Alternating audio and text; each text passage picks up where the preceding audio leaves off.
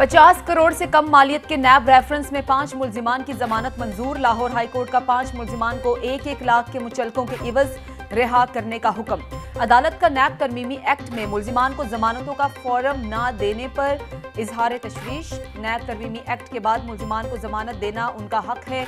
अदालत इजाज़त नहीं दे सकती कि बगैर कानून किसी की आज़ादी पर कदगन लगे। लाहौर हाईकोर्ट का दस सफात पर मुश्तमिल तफसीली फैसला जारी।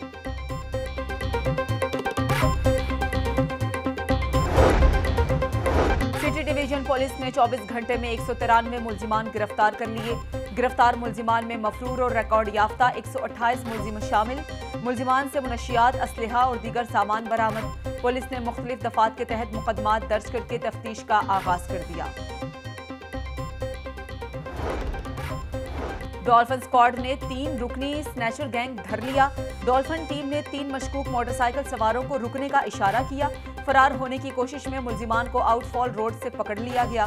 मुलजिमान का इस्लामपुरा लॉर मॉल में मुताद वारदातों का एतराफ। दूसरी जानब फैक्ट्री एरिया पुलिस की कार्रवाई। एक कैटेगरी का इश्तहारी इस्माइल गिरफ़्तार। इश्तहारी कत्ल, इकदाम कत्ल के मुकदमात में पुलिस को मतलूब था। गिरफ़्तार इश्तहारी मजीद तहकीकत के लिए इन्वेस्टिगेशन के हवाले।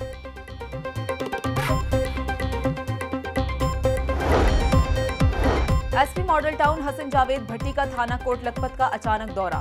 थाना के रिकॉर्ड और ऑफिसर्स और अहलकारों की हाजिरी को चेक किया। हवालात की सफ़ाई और इंतज़ाम का तफसीली जायजा लिया।